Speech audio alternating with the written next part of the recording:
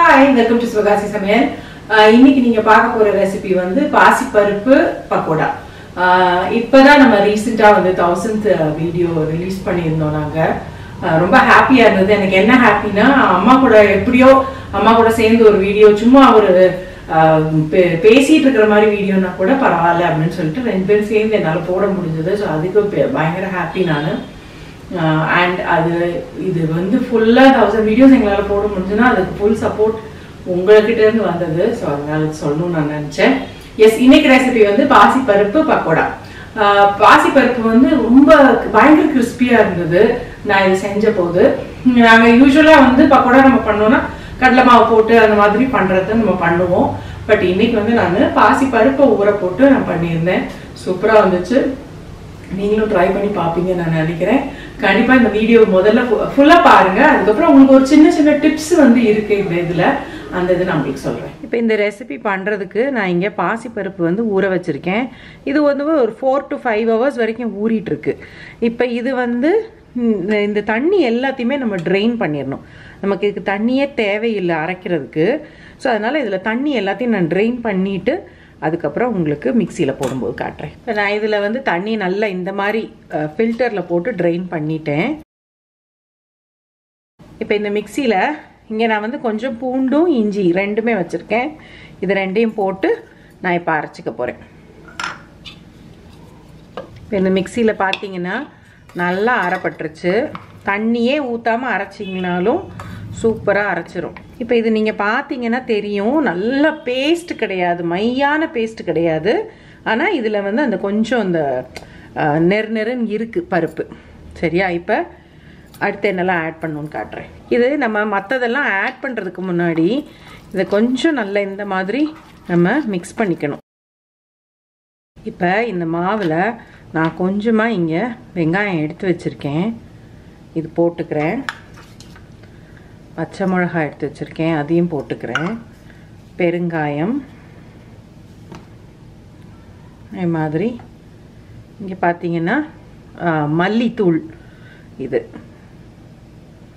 இது வந்து உங்ககிட்ட இந்த ரெகுலர் மல்லித்தூள் அதாவது நீங்களாக வீட்டில் சும்மா அரைச்சி பண்ணுறீங்க அப்படின்னா அது கூட போட்டுக்கோங்க. இது ஜீரகப்பொடி.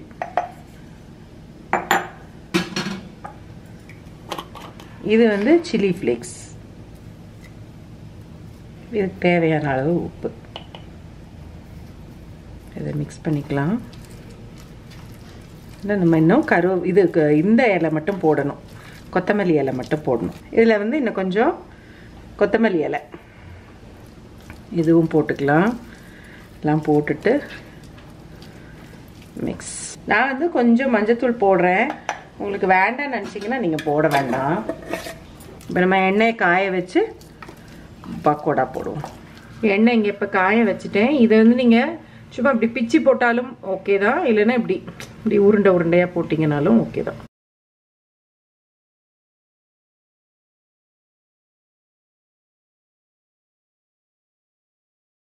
இது இப்போவே நம்ம கரண்டி போட்டு கிண்ட வேண்டாம். கொஞ்சம் இதை இதாகி வரட்டும் சேர்ந்து வரட்டும். அதுக்கப்புறம் நம்ம கரண்டி போட்டு இது பண்ணலாம். நான் இவ்வளோ நேரம் வரைக்கும் கரண்டி போடவே இல்லை. இப்போ தான் அதை வந்து லேசாக இது பண்ணி விடுறேன்.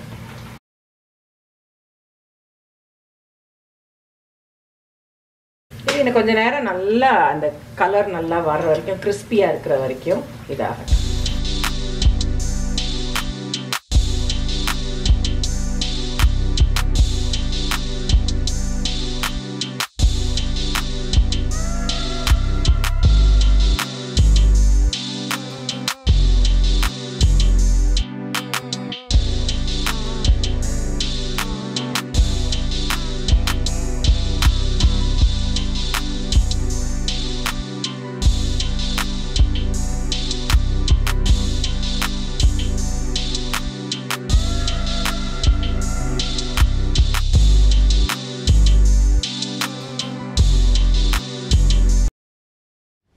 எனக்கு ரெசிபி பார்த்தீங்களா உங்களுக்கு பிடிச்சிருந்ததா? இது வந்து சூப்பராக ஈவினிங் டைம்ல வந்து ஒரு டீ ஒரு கொஞ்சம் ஒரு நாலு பக்கோடா. இது சாப்பிட்டீங்கன்னா சூப்பரா இருக்கும். ரொம்ப டேஸ்ட்டாக இருந்தது. இன்ஃபேக்ட் நான் வந்து அன்னைக்கு டின்னர் ஸ்கிப் பண்ணிட்டு இதை மட்டும் இப்படி சாப்பிட்டுட்டு விட்டுட்டேன். இந்த இதுக்கு வந்து இது கூட வந்து இதுல என்ன டிப்ஸ் நான் சொல்லணும்னு நினச்சேன் அப்படின்னா இதை நீங்க நல்லா ஊற வைக்கணும். அது ஒரு மெயின் டிப் ஃபோர் ஹவர்ஸ் வரைக்கும் நல்லா ஊறணும். அப்படின்னா தான் உங்களுக்கு வந்து அது தண்ணியே இல்லாமல் மையா அரைக்க முடியும். அது ஒரு ரீசன் அதுக்காக தான் மெயினாக அது நாலு மணி நேரம் ஊறணும். த நெக்ஸ்ட் டிப் வந்து என்னன்னா இதுல வந்து நம்ம இந்த மசாலாலாம் போடுறோம் பார்த்தீங்களா இது வந்து ஆக்சுவலாக வந்து இது நார்த்தில் வந்து வின்டர் டைமில் ரொம்ப ஃபேமஸ் இது. ஸோ இதில் வந்து அவங்க வந்து எல்லாமே ரா மசாலா போடுவாங்க. லைக் மல்லி விதைய வந்து அப்படியே பவுடர் பண்ணி போடுறது சீரகத்தை அப்படியே பவுடர் பண்ணி போடுறது. அதே மாதிரி ஓ- ஓமம் போடுவாங்க. இதெல்லாம் நான் போடலை அன்னைக்கு. பட் இது நீங்கள் வந்து போடுறதுனா நீங்கள் போடலாம்.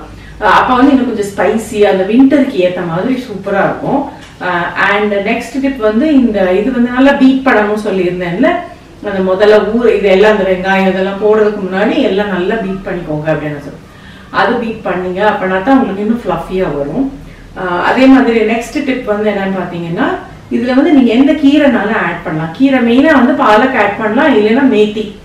நம்ம ம், வெந்தயக்கீரை. இந்த ரெண்டு தான் நல்லா இருக்கும். நான் ட்ரை பண்ணியிருக்கேன். இது ரெண்டு தான் சூப்பராக இருக்கும். மற்ற கீரை நம்ம அரைக்கீரை அதெல்லாம் போட்டால் அவ்வளோ ஒன்றும் டேஸ்ட் இருக்காது. பட் பாலக்கும் இதுவும் வெந்தயக்கீரையும் சூப்பராக இருக்கும். நிஜமாவே ரொம்ப நல்லாயிருக்கும். ஸோ இது நீங்கள் ட்ரை பண்ணி பார்ப்பீங்க. இதெல்லாம் தான் டிப்ஸ் நான் சொல்லணும்னு நினச்சது.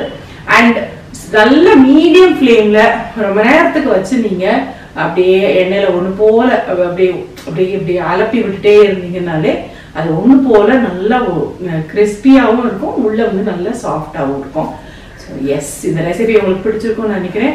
அடுத்த ரெசிபி உங்களுக்கு வந்து இன்னும் ஏதாவது ஸ்பெஷலாக ஏதாவது ரெசிபி உங்களுக்கு இது பண்ண ட்ரை பண்ணுறேன் இல்லை வேறு ஏதாவது ஒரு வீடியோ உங்களுக்கு கொண்டு வர ட்ரை பண்ணுறேன் அது வரைக்கும் until then take care bye